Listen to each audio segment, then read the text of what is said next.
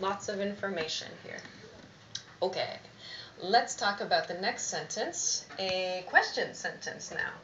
Okay, so here my subject, I have he, he is here.